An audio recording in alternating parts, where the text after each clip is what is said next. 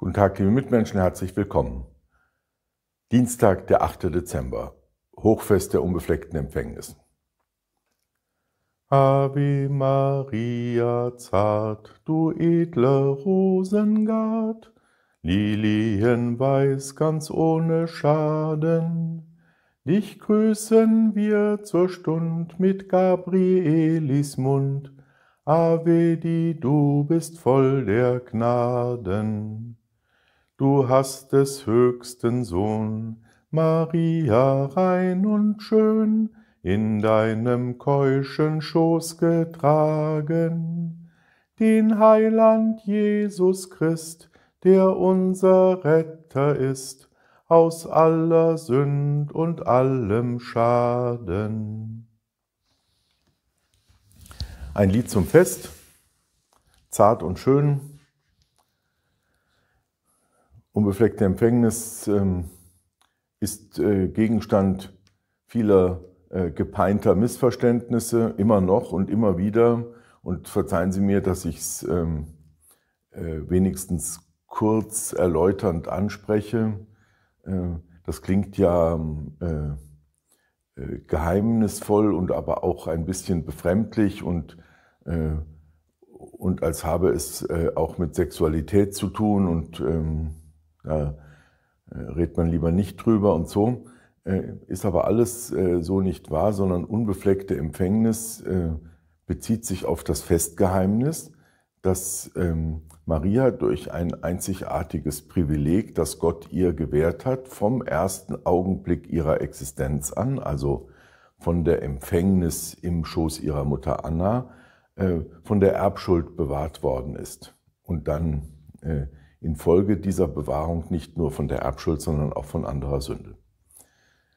Mit der Empfängnis Jesu in ihrem Schoß hat das nicht direkt zu tun, hängt alles irgendwie zusammen, aber da geht es um die Jungfräulichkeit dieser Empfängnis und äh, der Geburt Jesu, äh, um klarzumachen, dass er wirklich und wahrhaftig Gottes Sohn ist.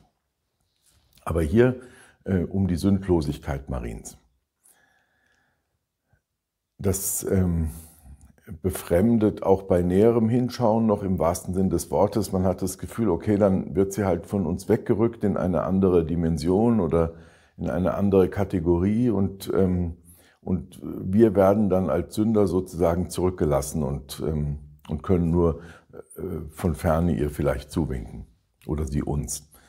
Äh, aber bitte, liebe äh, Mitchristen, bedenken Sie, ähm, das, was Maria ähm, vorauswirkend vom Kreuze Christi her äh, äh, geschenkt bekommen hat, das haben wir alle mit der Taufe nachwirkend vom Kreuze Christi her bekommen, nämlich, äh, dass wir äh, von Sünden durch und durch befreit sind, auch eben von äh, der Erbschuld, diesem äh, Verhängnis und der Verstrickung in das Böse.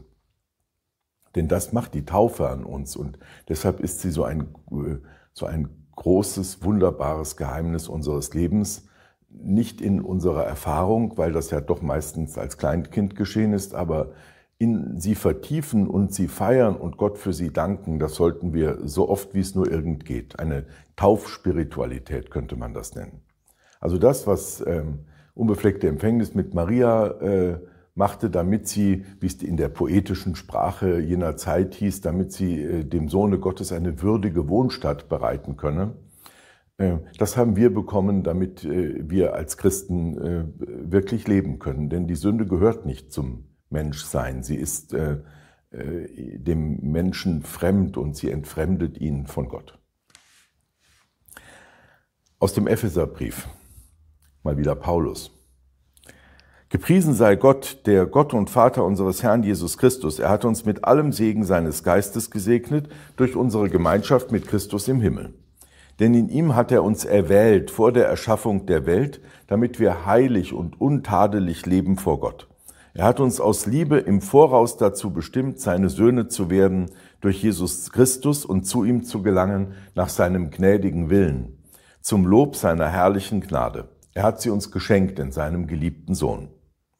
Durch ihn sind wir auch als Erben vorherbestimmt und eingesetzt, nach dem Plan dessen, der alles so verwirklicht, wie er es in seinem Willen beschließt. Wir sind zum Lob seiner Herrlichkeit bestimmt, die wir schon früher auf Christus gehofft haben. Ja, geht jetzt alles sehr schnell in einem langen Schachtelsatz, aber ich glaube, das Wesentliche, das, was Paulus so wichtig ist, das hören Sie schon.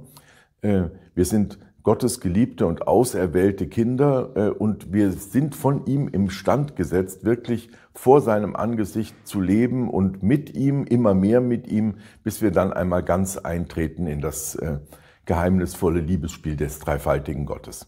Aber jetzt fängt das schon an und deswegen äh, unbefleckte Empfängnis äh, für Maria am Anfang ihrer Existenz, für uns durch die Taufe und ein Grund zur Freude.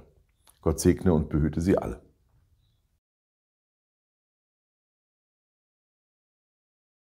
Denn nach dem Sündenfall wir waren verstoßen all und sollten ewig sein verloren.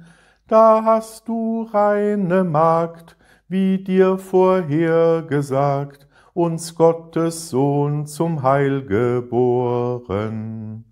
Darum, o Mutter mild, befiehl uns deinem Kind, bitt, dass es unser Sünd verzeihe, endlich nach diesem Leid die ewig Himmelsfreud mit dir, Maria, uns verleihe.